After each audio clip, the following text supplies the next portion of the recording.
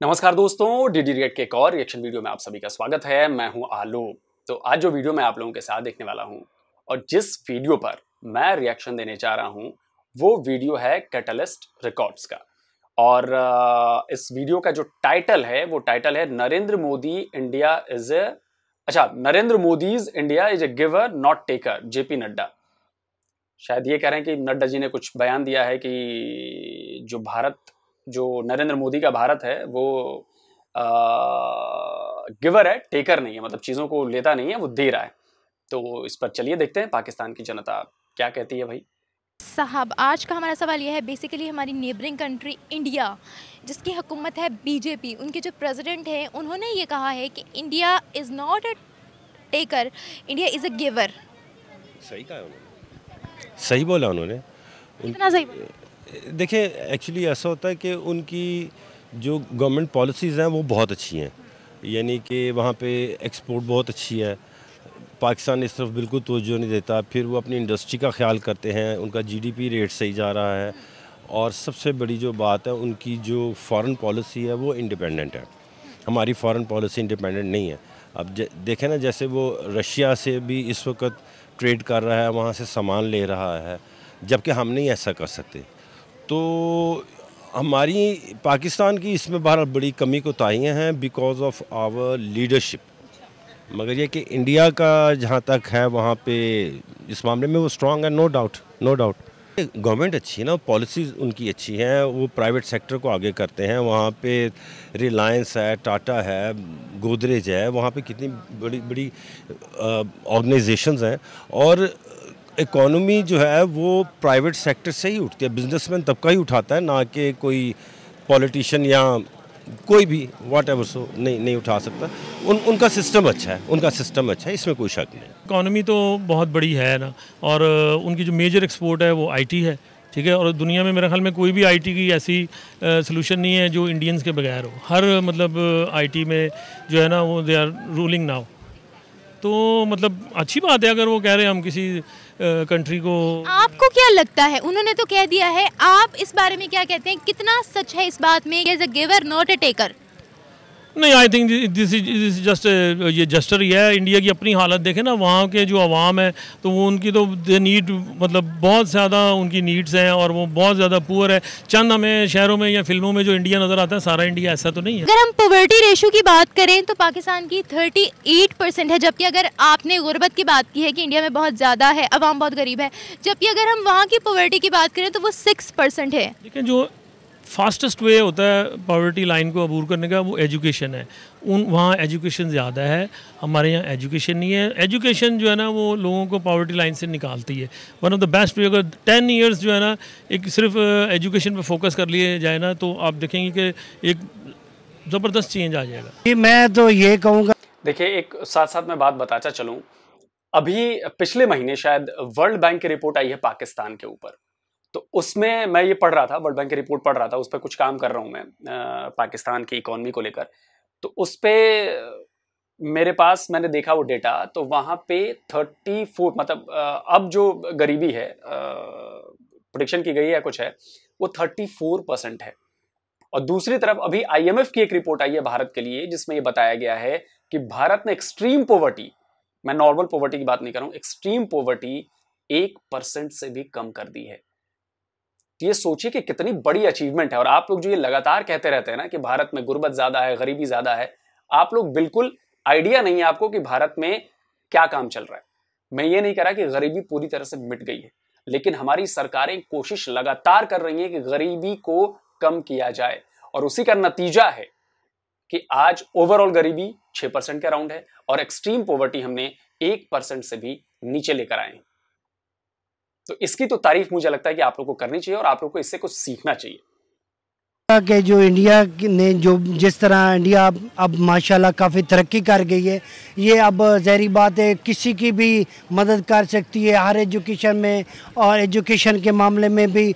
और अब आप यूट्यूब में देखें इनके गाने माशाल्लाह हर जहाँ तक है कि पूरी इंडस्ट्री अब माशाल्लाह तरक्की के गामजन है। जिस तरह इन्होंने श्रीलंका की की मदद की है मैं तो सलूट करता हूँ कि इस तरह ये अपनी इकनॉमी ऊपर से ऊपर लेकर और भी जा सकते हैं क्यों ये माशाल्लाह काफ़ी तरक्की पर है। यानी कि आप समझते हैं कि ये स्टेटमेंट बिल्कुल जायज़ है कि इंडिया देने वालों में से है लेने वालों में से नहीं है? बिल्कुल मैं ये बिल्कुल समझता हूँ कि इंडिया देने वालों में से है लेने वालों से अच्छा, इंडिया नहीं है जी। इंडिया ने हेल्थ सेक्टर में बहुत ज़्यादा जो है वो तरक्की कर ली है कैंसर केयर हॉस्पिटल्स बना लिए हैं जो लोग अफोर्ड नहीं कर सकते उनकी फ्री सर्जरीज की जा रही है हैं ट्रीटमेंट किया जा रहा है, उनका फ्री अगर हम वैक्सीनेशन की बात करें, क्योंकि जो पिछले पिछला जो पीरियड था, वो कोविड का था, जिसमें कोविड बहुत ज़्यादा था। वन करोड़ वैक्सीन जो हैं, वो एक्सपोर्ट हुई हैं इंडिया से।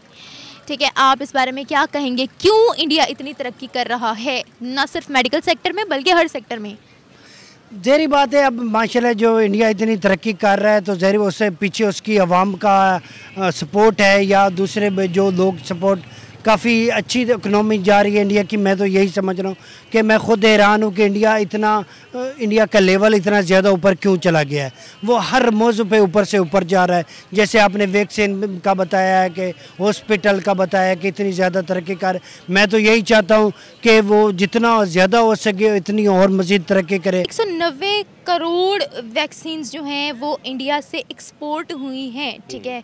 आप क्या कहेंगे इस बारे में? बहुत ज़्यादा एक्सपोर्ट है बल्कि सबसे ज़्यादा एक्सपोर्ट की गई हैं इंडिया से वैक्सीन की अगर हम बात करें तो। इंडिया हर चीज़ को एक्सपोर्ट करता है जी बहरहाल वैक्सीन तो उन्होंने किया है। मगर ये कि उनकी हर हर यहाँ तक कि वो पाकिस्तान से नमक मंगवा के तो वो अपने नाम से बाहर भेजते थे। तो इन हाँ हाँ हाँ हाँ ये जो हमारा खेड़ा का नमक है ना ये इंडिया वाले एक्सपोर्ट करते थे, अपने मुल्क का बोल के। ये नहीं बोलते अच्छा एक चीज़ मैं आपको क्लियर करता चलूँ लगे हाथ। जो आपके यहाँ से जो नमक मंगवाते थे, मान लीजिए बिज़नेस के लिए मंगवा रहे हैं। अब इसका कंपैरिजन मैं बताऊँगा कैसे इसका काउंटर करूँगा। वो जो हिमालयन सॉल्ट है, वो हम मंगवाते थे। हम वो प्रोसेस करते थे। आपके यहाँ प्रोसेस नहीं होता वो। हम हमारे यहाँ प्रोसेस करते थे, उसको पैकेजिंग करते थे और बेचते थे। नॉर्मल बिज़नेस प्रोसेस है।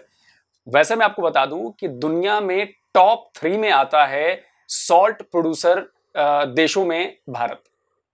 टॉप थ्री दुनिया का तीसरा सबसे बड़ा नमक का उत्पादक देश है प्रोड्यूसर देश है मेरा भारत। आप इस बात को समझिए। दूसरा, ये ठीक, आप पता है कैसे ये दे रहे हैं? हमारे यहाँ से कॉटन आपके यहाँ इंपोर्ट की जाती थी। ठीक है? कॉटन आपने हमारे यहाँ से इंपोर्ट की। भाई, आपकी टेक्सटाइल इंडस्ट्री लगातार ये गुहार लगा रही है कि भैया, भारत से कॉटन मंगवाओ, बहुत बुरी स्थिति है और उसकी वजह से आपकी टेक्सटाइल इंडस्ट्री को बहुत नुकसान हो रहा है, भारत के कॉटन नहीं जाने से। अब उस कॉटन से आप बनाते थे कपड़ा और कपड़े पे लगा देते थे मेड इन पाकिस्तान। तो आप भी तो करते हो, ये तो नॉर्मल बिज़नेस है कि भाई आपने कच्चा माल वहाँ से मंगाया, आपके यहाँ था, हमने कच्चा माल मंगाया प्रोसेस किया, हमने अपना ब्रांडिंग की पैकेजिंग की, बेच दी। ठीक वैसे ही जैसे आपने हमारे यहाँ से कच्चा माल कॉटन मंगाया कॉटन को आपने वहाँ पे धागों में तब्दील किया, उससे आपने कपड़े बनाए, उस पर मेड इन पाकिस्तान लिखा और दुनिया में एक्सपोर्ट कर दिया। तो ठीक वैसा ही है। ये कोई मतलब पता नहीं आप लोग ये क्यों उदाहरण देते हो? ये नॉर्मल चीज़ है। ये कोई इसमें एक्स्ट्रा चीज़ नहीं हो गई है ये। Made in Pakistan. तो बासमती तो चावल तो क्या वो हर चीज़ ही हमारी बनाई हुई एक्सपोर्ट करते नहीं नहीं हमारा बासमती चावल और नमक ये मेन मेन चीज़ें थी। कुछ हमारी स्पोर्ट्स गुड्स हैं जो कि सियालकोट से जाती हैं। मैं इससे ज़्यादा नहीं मैं जानता। आपको पता है दुनिया का टॉप राइस प्रोड्यूसर देश भी है आ, इंडिया आपको अंदाज़ा है? बासमती चावल हमारे यहाँ भी ज़बरदस्त पैदा होता है। क्या बोल रहे हो सर आप? क्या बोल रहे हो सर आप?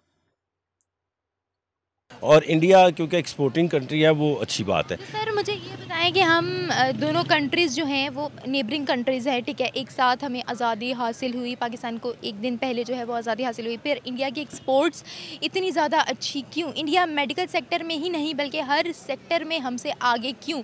और अब तो ऐसा है कि India is not taker it's giver नहीं इंडिया हर सेक्टर में आ गया जी, आप उनको अगर कंप्यूटर वर्ल्ड में देख लें तो मेरा ख्याल है दुनिया में तीसरा, चौथा नंबर है उनका। वो कंप्यूटर में भी बहुत आगे हैं प्रोग्रामिंग में सॉफ्टवेयर में हार्डवेयर में। वो इन सब चीज़ों में हमसे बहुत आगे हैं बिकॉज़ के उनकी जो, जैसी भी गवर्नमेंट आई या जैसी भी उनकी पार्लियामेंट है they are loyal with their country अपने साथ ऐसा नहीं है, पाकिस्तान के साथ ऐसा नहीं है, हमारी लीडरशिप जो है ना वो वो सही नहीं है। हमें सबसे बेटा ये जो इंडस्ट्री है ना, किसी भी मुल्क यानी काइंड ऑफ़ चाहे फार्मास्यूटिकल हो, जो कोई भी हो, वो ज़्यादा जो भी कुछ चीज़ें बनाती हैं तो उसकी जो सेवेंटी परसेंट जो है ना, वो इम्पोर्ट करती है। अब हमारा जो डॉलर प्राइस है हमारे से आधी प्राइस उनकी है ठीक है ना? तो वो फार्मास्यूटिकल इंडस्ट्री उनकी ज़्यादा बूस्ट कर रही है। वो हमें जो चीज़ 180 की पड़ती है उन्हें वो चीज़ जो है ना नब्बे रुपये की पड़ती है तो वो बना के इंटरनेशनल मार्केट में या मार्केट में यस वो दे सकते हैं ना ज़्यादा। और वो इसलिए भी बनाते हैं कि उनकी सेल्फ बहुत बड़ी डिमांड है उनकी अपनी कंट्री में ये बहुत बड़ी डिमांड है। लेट सपोज़ अगर एक इंडियन एक साल में एक भी बॉटल पिए पेप्सी की या थम्सअप की तो वो सवा अरब बोतलें पी जाएगा। तो हम तो दस साल में नहीं सवा अरब बोतलें पियेंगे तो इस तरह इसलिए एक्चुअली मार्केट भी बहुत बड़ी है ना। अगर वो अगर आप बड़ी मार्केट की बात कर रहे हैं अगर आप सक्सेस को मार्केट से ही कंपेयर कर रहे हैं तो फिर जापान जैसी कंट्री तो फिर कभी तरक्की ही ना कर पाती। वो अपने असूलों के बहुत पक्के हैं और उन, उनके जो है ना ह्यूमैनिटी के असूल बहुत हैं। आप देखें ना जापान में पिछले 25-30 साल से कोई चोरी नहीं हुई कोई मर्डर नहीं हुआ। वहाँ लोग लाइन में खड़े रहते हैं ऐसे लाइन में मैंने जैपनीज़ को देखा अगर आप एक गोली मारें सौ बंदों में से गोली गुजर जाएगी। हमें तो अब तक लाइन और लेन ही नहीं बनानी आई।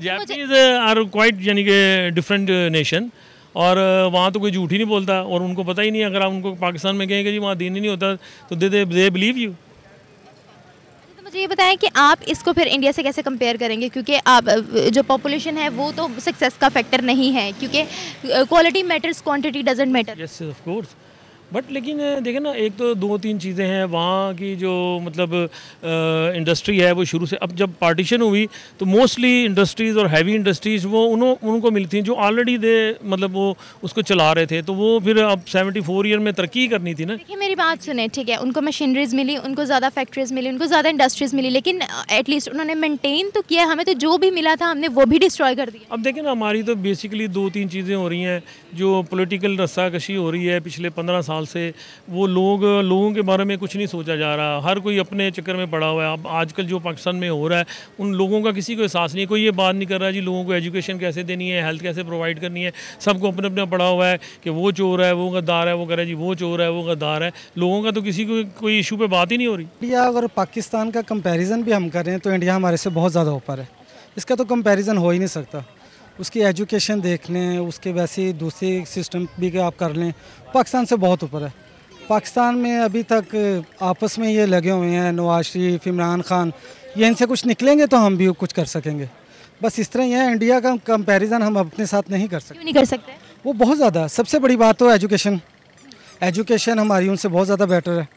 पाकिस्तान की हमारी बेटर है या उनकी बेटर है? उनकी बेटर है। हमारी कहाँ से बेटर है? उनकी बेटर है। हमारा तो तलीमी निज़ाम नहीं अभी इनसे लाया जा रहा किसी चीज़ में भी। तो हम कैसे बेटर होंगे? और बाकी भी आप किसी भी चीज़ में देख लें। मुझे ये बताएँ कि इंडिया जो है हेल्थ सेक्टर में बड़ा आगे जा रहा है ठीक है? इंडिया ने 130 according to the president of BJP ये कहा गया है कि इंडियन नरेंद्र मोदी जो है उन्होंने 130 करोड़ लोगों की जान बचाई है कोविड के दौरान। और अगर हम वैक्सीन की बात करें 190 करोड़ वैक्सीन की एक्सपोर्ट की गई है। हाँ ये भी बात है। देखें ना पाकिस्तान और इंडिया का कंपैरिजन आप ऐसे नहीं कर सकते। हमारे तो सिर्फ़ सूबे भी चार हैं। उनकी हमारी सिर्फ़ बाईस करोड़ आवाम है और उनकी आवाम भी देखे कितनी ज़्यादा है। क्वांटिटी मैटर्स और sorry quantity doesn't matter quality matters quality matter आप कैसे कर सकते हैं? अब उनकी आवाम इतनी ज़्यादा है कोविड तो पूरी दुनिया में फैल चुका था। तो इसलिए उन्होंने वैक्सीनेशन तो उन्होंने ज़्यादा की होगी। वैक्सीनेशन लाजमी उनकी की है तो वो बचे हैं। नहीं तो कौन बच सकता था? आप चाइना में हाल दे सकते हैं पाकिस्तान का आप हाल दे सकते हैं। जितनी ज़्यादा वहाँ में उतनी ज़्यादा वैक्सीनेशन उन्होंने की है। ये नहीं है हमने देखा नहीं है अगर हमने टीवी पे भी देखा है उनकी हालत बहुत ख़राब भी थी पहले लेकिन एकदम वो कैसे ठीक होगी? आखिर उन्होंने कुछ काम किया है तो वो हालात बेहतर हुए उनके। मगर यहाँ मैं एक चीज़ एडिशनल करूँगा बीजेपी पाकिस्तान के लिए बहुत अच्छी है मैं ये समझता हूँ। कैसे? वो ऐसे कि देखें जब पहले वाजपेयी साहब आए थे बीजेपी के तो उन्होंने पोखरान में एटम एटॉमिक ब्लास्ट किया था ठीक है जिसके जवाब में फिर हमें मजबूरन चागी में करना पड़ा। मैं एटमी अगर अगर बीजेपी वो ना ये भाई साहब पहले भी किसी वीडियो में आए थे मुझे पक्का पक्का कंफर्म हूँ मैं और यही बात उन्होंने कही थी। मुझे याद आ गया। ना करती उस वक्त। तो पाकिस्तान अभी तक एटमी धमाका ना कर सका होता। हाँ और फिर फिर दूसरा जो बीजेपी में सबसे बड़ा है ना मसला जो कि बहरहाल मुझे ये कहना तो नहीं चाहिए कि वहाँ पे जो नस्ली इम्तियाज़ है ना, जैसे इंडियन मुस्लिम सिख क्रिश्चियंस के साथ, ये ये गलत है। इससे इससे इंडिया को बहुत ज़्यादा नुकसान पहुँच सकता है, बल्कि मैं समझता हूँ कि पहुँचेगा। तो नेचुरली जब उसको नुकसान पहुँचेगा तो ये पाकिस्तान के लिए ठीक है। जी तो व्यूवर्स ये थी हमारी आज की वीडियो होप्स हो कि आपको हमारी वीडियो पसंद आई होगी. वीडियो का टॉपिक अच्छा लगा होगा लोगों के रिव्यूज़ पसंद आए होंगे. अगर आपको हमारी वीडियो पसंद आई हो तो हमें कमेंट बॉक्स में लाजमी बताइएगा. इसी के साथ मुझे दीजिए इजाज़त. मैं मिलूँगी आपसे एक नई वीडियो एक नए टॉपिक के साथ. तब तक अल्लाह हाफिज़. तो चलिए निमरा अहमद जी का वीडियो बड़ा अच्छा था यार. और आखिर में जो भाई साहब बोल रहे थे वो धीरे धीरे खैर बुज़ुर्ग हैं सीनियर हैं तो बोलते बोलते दिल की बात जबां पे आ गई कि उधर भारत में सब बुरा होता रहेगा तो हमारा फ़ायदा है पाकिस्तान का। चलिए, अपनी अपनी सोच है भाई, कोई बात नहीं। और इतनी बड़ी आबादी है तो छोटे मोटे लफड़े होते रहेंगे। और अगर आपकी तरह माइनॉरिटीज़ को हम दबा के रखा होता हमने तो हमारी हालत भी ना आज आपके देश के जैसे होती कि आप कर्ज के बोझ तले दबे होते आपके पीएम को दर दर भटकना पड़ता है पैसों मांगने के लिए, कभी चाइना के पास, कभी सऊदिया के पास नाक रगड़नी पड़ती है। आपके यहाँ एजुकेशन, जब आपने हमारे परमाणु बम के धमाके से, एटम बम के धमाके से अगर आप सीख कर एटम बम ने आपने भी बना लिया तो आपको शर्म आनी चाहिए बात बोलने में कि भाई हमारे एजुकेशन को देख के आपने अपनी एजुकेशन पॉलिसी क्यों नहीं बदली? हमारे यहाँ की इंडस्ट्रीज़ को देख के आपने अपने यहाँ की इंडस्ट्रीज़ क्यों नहीं बदली? हमारे यहाँ के आईटी को देख के आपने अपने यहाँ का आईटी क्यों नहीं बदला? उसमें आप कुछ क्यों नहीं कर पाए? आपने हमारे यहाँ का इंफ्रा देख के अपने यहाँ के इंफ्रा में क्यों इजाफा नहीं किया? इस पर भी कभी सोचिएगा। एटम बम से रोटी नहीं मिलती। रोटी मिलती है इंफ्रा से, रोटी मिलती है एजुकेशन से, रोटी मिलती है आईटी सेक्टर से। बम तो हमने भी बनाया हुआ है बम आपने भी बनाया हुआ है, दोनों रखे हुए हैं और भगवान की दया रही तो एटम बम चलाने की नौबत नहीं आएगी। तो खैर वीडियो में तो वही है मिक्स बातें थी। लेकिन ये बात तो सच है कि भारत और पाकिस्तान का कोई कंपैरिजन है नहीं। और होना भी नहीं चाहिए। मोस्टली जो यूट्यूबर्स हैं, वो भारत और पाकिस्तान का कंपैरिजन करते हैं। लेकिन ठीक है, होना भी नहीं चाहिए क्योंकि कोई बराबरी ही नहीं है, कोई मुकाबला भी नहीं है। अब तुलना तो ब्रेडमैन और सचिन में होगी ना। अब समझ रहे ना? दो एक तरह के देश या एक तरह के लोग या एक तरह की पर्सनालिटी तब जाके तुलना होती है ना। एक एक जैसी सोच रखने वाले। तो हमारी सोच में फ़र्क है, हमारी पर्सनालिटी में फ़र्क है। और ये फ़र्क मुझे लगता है कि भरना, ये गैप इतना ज़्यादा बढ़ चुका है। अच्छा अब इसका अंदाज़ा आप लगाइए, ये गैप कितना ज़्यादा बड़ा है? दुनिया की टॉप की टेक कंपनीज़ पर हमारे लोग बैठे हुए हैं। आपका एक भी बंदा नहीं है।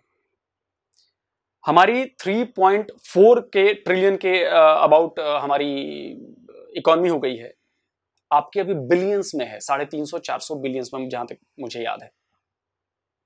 आप सोचिए कहाँ तीन, साढ़े तीन सौ, चार सौ बिलियन कहाँ three point four billion sorry trillion आप समझिए इस बात को। कोई कंपैरिजन नहीं। और इसके पीछे भारत की जनता, भारत की लीडरशिप दोनों ही इसकी वजह है। और दोनों की वजह से ही भारत आज ग्रो कर रहा है। और भारत के रहने वाले लोग, मेरी बात को गौर से सुनिएगा, भारत में रहने वाले हर जाति, हर संप्रदाय, हर धर्म, हर मज़हब के लोग मिलकर काम कर रहे हैं, जिसकी वजह से भारत तरक्की कर रहा है। और आपके यहाँ ये काम नहीं हो रहा है, क्योंकि हमारे यहाँ सबको बराबर का हक दिया गया है, आपके यहाँ बराबर का हक नहीं है। जल्दी हाजिर होता हूँ, एक और नए वीडियो के साथ। नमस्कार, जय हिंद।